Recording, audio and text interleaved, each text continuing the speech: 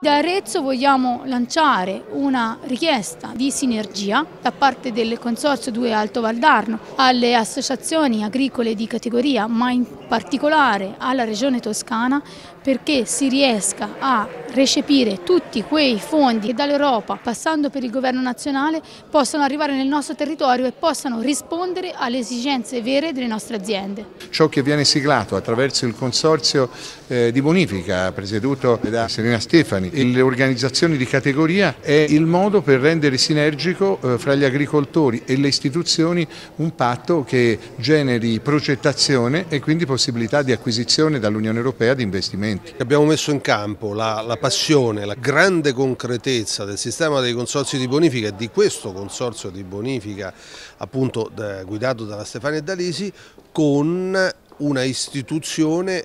rappresentata dal suo presidente Gianni che non solo ha apprezzato questa concretezza ma come noi l'ha collocata direttamente A nel Recovery Fund, B nella sfida di futuro originale e distintivo di questa regione, non solo le altre regioni ma tutto il resto del mondo e questo credo che debba rendere eh, chi esercita il mio ruolo estremamente davvero orgoglioso di questa giornata. Io ritengo che abbiamo qualche elemento in più degli altri paesi europei per affrontarla a testa alta, ci vuole un po' di coraggio e ci vuole un grandissimo gioco di squadra fra governo, regioni, eh, imprese agricole e mondo della ricerca. Se lavoriamo bene assieme questa può essere una grande occasione, l'Italia può essere il paese guida in Europa per costruire un sistema agroalimentare equo, eh, redditizio per gli agricoltori e maggiormente sostenibile.